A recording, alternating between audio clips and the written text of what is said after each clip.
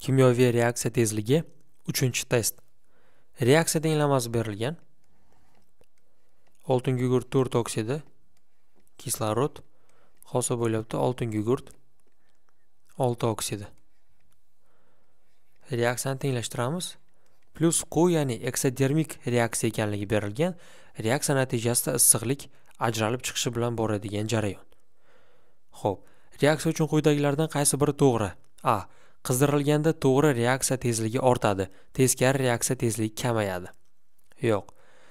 Demak qizdirilganda reaksiyada ikki tomonni ham tezligi to'g'ri va teskari reaksiyani ham tezligi bir xilda ortadi.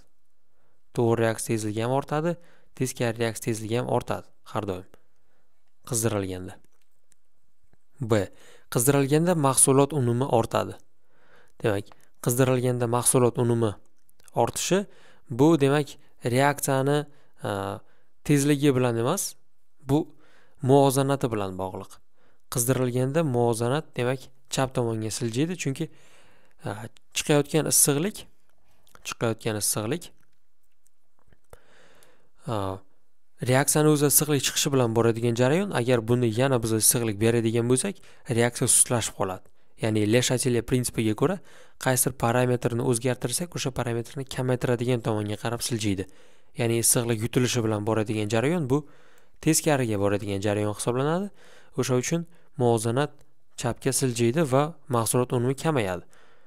O'sha uchun bu tezlikka bog'liq bo'lgan qism emas lekin to'g'ri. Ya'ni qizdirilganda mahsulot unumi ortadi degani xato aytgan chunki kamayadi dedikku. Minus quga qarab siljiydi.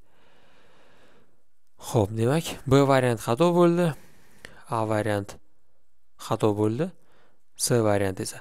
Bosim ortganda to'g'ri reaksiya tezligi ortadi. Bosim ortganda to'g'ri reaksiya tezligi ortadi bu to'g'ri. Bosim ortganda to'g'ri reaksiya tezligi ham ortadi teskari reaksiya tezligi ham ortadi ikkalasi ham ortadi. Qizdirilganda ham to'g'ri ham teskari reaksiya tezligi ortadi. D javob ham to'g'ri. Qizdirilganda ham to'g'ri ham teskari reaksiya tezligi ortadi. Faqat qaysidir ko'proq ortadida. Qizdirilganda o'sha uchun mana to'g'ri reaksiyani tezligi qizdirilganda ko'proq ortib ketsa agar demak e, bu reaksiya o'ngga siljib ketadi muvozanatga. Agar teskari reaksiyani tezligi ko'proq ortadigan bo'lsa demak chapga siljib ketadi qizdirilganda. Demak bu reaksiyada qizdirilganda teskari reaksiyani tezligi ko'proq ortadi to'g'riga qaraganda. Chunki teskari reaksiya issiqlik yutilishi bilan bo'ladigan reaksiyada to'g'ri reaksiya esa issiqlik chiqishi bilan bo'ladigan reaksiya. Bu reaksiyaga issiqlik kerak emas teskari reaksiyaga esa issiqlik kerak наоборот lekin ikkala reaksiyani ham tezligi ortadi. Faqat qaysidirniki ko'proq ortadi. Bu muvozanat siljishi bilan bog'liq bo'lmagan narsa. O'sha uchun c va d degan javob olishimiz kerak. Bu a javob bo'ladi.